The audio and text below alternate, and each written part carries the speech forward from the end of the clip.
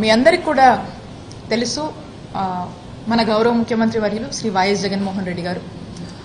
ఈ రాష్ట్రంలో ఎప్పుడు గతంలో ఎవ్వరూ చేయనటువంటి ఒక గొప్ప ఆలోచన ఒక ఇనిషియేటివ్గా పదిహేడు గవర్నమెంట్ మెడికల్ కాలేజ్ని ఈ రాష్ట్రానికి తీసుకురావాలనే ఒక గొప్ప సంకల్పంతో ఒక గొప్ప ఆలోచన చేసి మరి దాంట్లో భాగంగానే ఈ సంవత్సరం మనము వీటికి సంబంధించి ఒక ఐదు మెడికల్ కాలేజ్ని మనం ఈ ఆగస్ట్ నుంచి సెప్టెంబర్ అలా కూడా మనం ఈ అకాడమిక్స్ అనేది మనం ప్రారంభించబోతా ఉన్నాం. ఇది చాలా గొప్ప ఇనిషియేటివ్గా మనము మన జగనన్న గవర్నమెంట్లో తీసుకున్నటువంటి ఒక గొప్ప ఇనిషియేటివ్గా మనం అందరం కూడా భావించ భావించాల్సినటువంటి అవసరం ఎంతగానో ఉంది. అయితే ఏవైతే ఎగ్జిస్టింగ్ లెవెన్ మెడికల్ కాలేజెస్ ఉన్నాయో ఆ ఎగ్జిస్టింగ్ ఎలా ఉన్నాయో ఆ లెవెన్ మెడికల్ కాలేజెస్ అలానే కంటిన్యూ అవుతూ ఇవి కొత్త కాలేజెస్ ఈ కొత్త కాలేజెస్ని ఒక ఒక రిఫార్మేటివ్ ఆలోచన మనం చేసినప్పుడు ఒక రిఫార్మేషన్గా కొన్ని కొన్ని కొత్త ఆలోచనలు మనం తీసుకొచ్చినప్పుడు దానికి తగినట్టుగా దాన్ని ఇంకా అక్కడ ఉన్నటువంటి వైద్య విద్యను మరింతగా ఒక వరల్డ్ క్లాస్ ఫెసిలిటీస్ ఒక వరల్డ్ క్లాస్ స్టాండర్డ్స్లో ఆ యొక్క చదువులు ఉండాలనేటువంటి ఒక గొప్ప ఆలోచన చేసినప్పుడు కొంత కొన్ని ఆలోచనలు మనం చేయాల్సినటువంటి అవసరం ఉంది. మనం ఏదో తీసుకొచ్చాము సరే ఏదో ఒకటి ఒక- ఒక ఒక మెడికల్ కాలేజ్ని మనము సెట్ చేసాము బిల్డ్ చేసాము అంతవరకు మళ్ళీ దాని ఫంక్షనింగ్ ఎట్లా పోయినా మనకు పర్వాలేదు అన్నటువంటి అలాంటి కన్సర్న్స్ ఫ్యూచర్లో ఎప్పుడు కూడా అరైజ్ అవ్వద్దు అనే ఒకటువంటి ఒక ముందు ముందు ముందు చూపుతో దీని గురించి ఎస్ కొంత ఫీజు అనేది మనము తీసుకొచ్చి ఈ ప్యాటర్న్ అనేది మనము తీసుకొస్తున్నటువంటి అంశంగా మీరందరూ కూడా చూడాలి. ఎందుకంటే మనం చూసినట్టయితే మన రాష్ట్రంలో వాళ్ళు మన రాష్ట్రంలో పిల్లలు మేనేజింగ్ మేనేజ్మెంట్ కోటా అని పేమెంట్ కోటా అని ఎక్కడెక్కడికో వేరే వేరే రాష్ట్రాలకు వెళ్ళి కొన్ని దేశాలకు వెళ్ళి ఎక్కడెక్కడో పై చదువులు చదువుతున్నారు. ఇప్పుడు మనం తీసుకొస్తున్నటువంటి ఈ యొక్క పద్ధతుల వల్ల అక్కడ వరల్డ్ క్లాస్ స్టాండర్డ్స్ ఉన్నటువంటి చదువుల్ని మనం మన గవర్నమెంట్ మెడికల్ కాలేజ్లో ఇవ్వాలనుకుంటున్నాము. దీంట్లో భాగంగానే మినిమల్గా చిన్న నామినల్గా మనం తీసుకొచ్చాము. ఎందుకంటే ఎప్పుడైతే తీసుకొచ్చామో దానివల్ల ఆ యొక్క మెడికల్ కాలేజ్కి రెవెన్యూ అనేది జనరేట్ అవుతుంది. ఆ రెవెన్యూ జనరేట్ అయినప్పుడు సెల్ఫ్ సస్టైనబిలిటీ uh, అనేది మనకు పెరుగుతుంది. ఆ సెల్ఫ్ సస్టైనబిలిటీ పెరిగినప్పుడు ఇక మనకు వాటి మీద మనకు నిజంగా అది భారం రాష్ట్ర ప్రభుత్వానికి భారం కాదు. అట్ ది సేమ్ టైం ఏంటంటే వీటిని ఎలా రన్ చేయాలి ఏంటని పొద్దుకులు కూడా మనం ఆలోచించాల్సినటువంటి పరిస్థితులు ఉండవు. దానికి తగ్గట్టు మళ్ళీ క్వశ్చన్ చేస్తారు. అసలు మీరు ఒక్కసారి ఆలోచించండి ఎవరు తెమ్మన్నారు? ఈ పదిహేడు మెడికల్ కాలేజ్ తీసుకురావాలని ఎవరైనా ముఖ్యమంత్రి గారిని అడిగారా? లేదే. ఇది ముఖ్యమంత్రి గారు స్వయంగా ఇది తీసుకురావడం వల్ల ఇక్కడున్న ప్రాంత ప్రజలకు ప్రతి ఒక్క జిల్లాకు కూడా ఒక మెడికల్ కాలేజ్ ఉంటే ఆ వైద్య విద్యను పెంపొందించి ఆ ప్రాంతం యొక్క ప్రజలందరూ కూడా పేద ప్రజలు పేద విద్యార్థులందరూ కూడా డాక్టర్ లాంటి గొప్ప గొప్ప చదువులు అభ్యసించి ఆ ప్రాంతంలో సేవ చేయొచ్చు అనే ఒక గొప్ప ఆలోచన. అలాగే మనము టెరిషరీ కేర్ సర్వీసెస్ ఏవైతే మనం మిస్ అవుతా ఉన్నామో అవన్నీ కూడా మనం ఇతర రాష్ట్రాలకు వెళ్ళకుండా ఆ టెరిషరీ కేర్ని పూర్తి స్థాయిలో కూడా రాష్ట్ర ప్రజలందరూ కూడా ఇక్కడ మెరుగైన నాణ్యమైన వైద్య సేవలు అందించాలని ఒక గొప్ప ఉద్దేశంతో తీసుకొచ్చాము.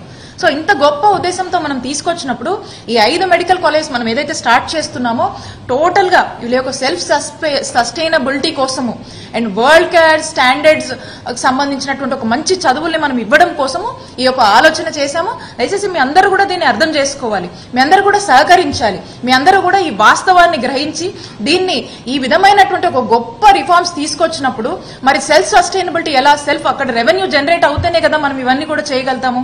కాబట్టి ఆ రెవెన్యూ జనరేట్ అయ్యి వాళ్ళకు వాళ్ళు ఏ కాలేజ్ కా కాలేజ్ ఇండివిజువల్గా వాళ్ళు డిపెండెంట్ వాళ్ళు ఎక్కడకు డిపెండెంట్ లేకుండా అన్డిపెండెంట్గా వాళ్ళకు వాళ్ళు రన్ అయ్యే విధం కోసం ఈ యొక్క విధానం తీసుకురావాల్సినటువంటి అవసరం వచ్చింది. అండ్ ఖచ్చితంగా కూడా మీ అందరూ కూడా ఈ యొక్క పై చదువులు మన రాష్ట్రంలోని పిల్లలు నాణ్యమైన బెస్ట్ క్లాస్ ఫెసిలిటీస్తో ఇక్కడే చదువుకోవడానికి ఇది ఒక గొప్ప అవకాశంగా అందరూ కూడా చూడాల్సినటువంటి అవసరం ఉందని చెప్పి తెలియజేసుకుంటూ మరి ముఖ్యమంత్రి గారి పాలనలో అనేక ఇనిషియేటివ్స్ మన వైద్య ఆరోగ్య శాఖలో తీసుకొచ్చారు.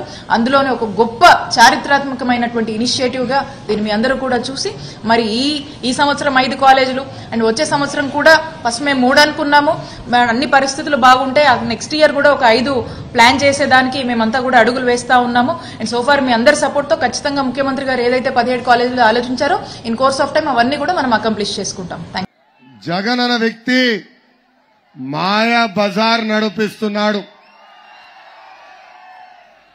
ఎన్నికల ముందల ఎస్సీ ఎస్టీ మైనారిటీ పిల్లల్ని ఉచితంగా మెడికల్ కాలేజీలో చదివిస్తానని మాయ మాటలు చెప్పాడు ఈ సైకో జగన్.